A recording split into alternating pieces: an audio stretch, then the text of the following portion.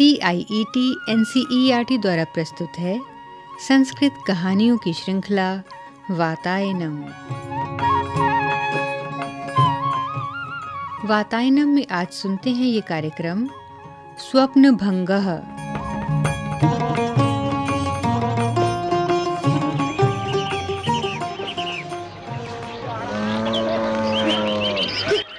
किसी गाँव में एक भिखारी रहता था।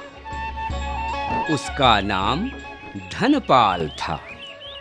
वह एक घर से दूसरे घर, एक गाँव से दूसरे गाँव घूम घूम कर, भीख मांग कर अपनी जीविका चलाता था। एक दिन भीख मांगने के लिए वो घर से निकला। और किसी घर के सामने खड़े होकर आवाज़ लगाने लगा। मातः मातः भिक्षां देहि। रे धनपाल गृहाण। मातः तव मङ्गलमस्तु अहो अयम भिक्षुकः अद्य पुनः भिक्षार्थम् आगच्छति भिक्षाम देहि। मातः चिरं जीवतु ते सन्ततिः। सम्प्रति अन्यस्मिन् कर्मणि व्यापृता अस्मि। अग्रे गच्छ। भवतु मातः अग्रे गच्छामि।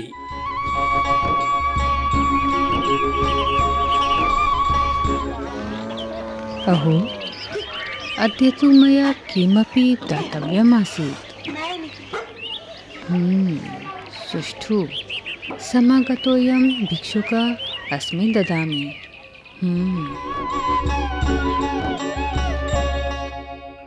मातः? भिक्षुक गृहाण। तव मङ्गलमस्तु रे भिक्षुक भिक्षुक आगच्छ शीघ्रम् आगच्छ। मया शीघ्रं गन्तव्यं तुभ्यं किमपि दत्वा एव गमिष्यामि।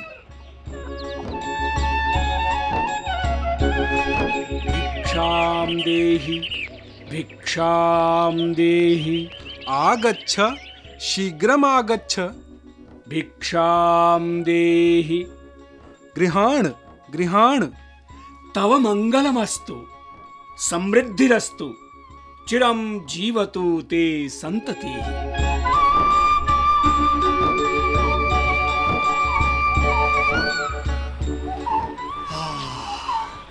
अहो साम्प्रतम् अयं मे घटः पूर्णो जातः। अधुना गृहं गच्छामि। एनं घटं नागदन्ते अवलम्ब्य अस्य अधस्तात् शयनं करोमि। आहा अरे धनपाल धनपाल। हम्म। त्वया अद्यावधि नोक्तं। यत् त्वं किं करोषि? दामोदर यथा कालं वदिष्यामि। साम्प्रतं व्यापृतोऽस्मि।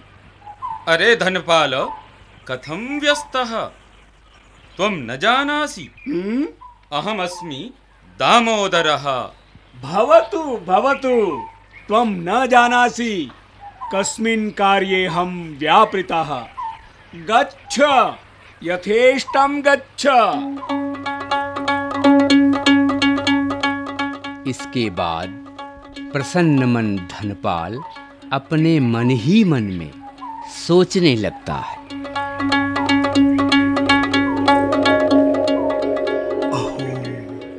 यदा देशे दुर्भिक्षः भविष्यति, तदा अहम् इमान् तण्डुलान् विक्रेष्यामि। तण्डुलविक्रयेण अवश्यं प्रचुरं धनं प्राप्स्यामि। ततः तेन धनेन अजाद्वयं क्रेष्यामि। अहो! अजाद्वयस्य विक्रयेण गोः क्रयणं कृतं। गवाम्, अजानां च क्रयविक्रयाभ्यां धनिकोऽहं सञ्जातः। अहो! श्रमस्य फलं लब्धं। मम व्यापारः उत्तरोत्तरं वर्धते तराम्।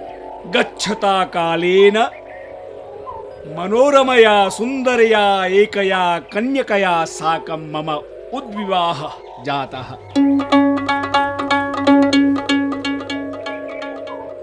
इसके बाद अपने मन ही मन में धनपाल कल्पना करता है और कल्पना लोक में ही वह सुंदर महल बनाता है।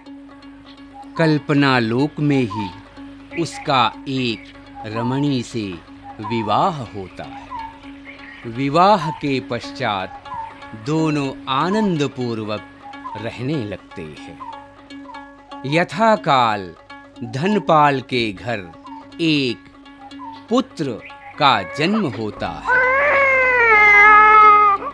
धीरे धीरे पुत्र आठ वर्ष का हो जाता है। अपने कल्पना लोक में धनपाल ने देखा कि उसका आठ वर्षीय पुत्र उसके पास आकर बोलता है। पितः पितः मिष्टान्नं वाञ्छामि। मह्यं मोदकानि देहि मोदकानि देहि तात मोदकानि देहि। अधुनाहं कार्येषु अतीव व्यापृतोऽस्मि। मोदकानि देहि तात मोदकानि देहि। गच्छ। अहो भग्नं मे भिक्षापात्रम् अन्नं सर्वं विकीर्णम्। ओहो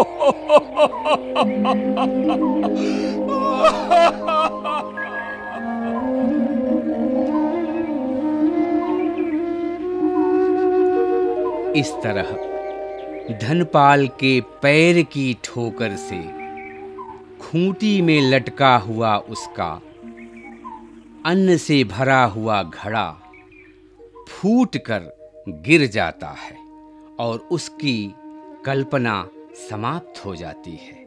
उसका स्वप्न टूट जाता है।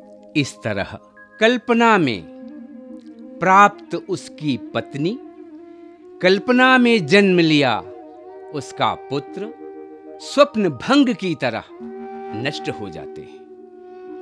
उसका कल्पना में बनाया गया भवन भी नष्ट हो जाता है। इसलिए कहा गया है कि केवल कल्पना से जीवन नहीं चलता।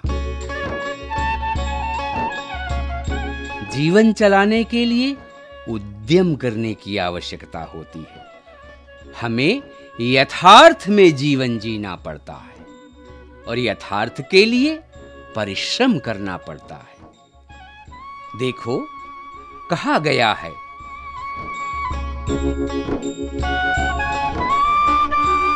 उद्यमेन हि सिद्ध्यन्ति, कार्याणि न मनोरथैः न हि सुप्तस्य सिंहस्य प्रविशन्ति मुखे मृगाः।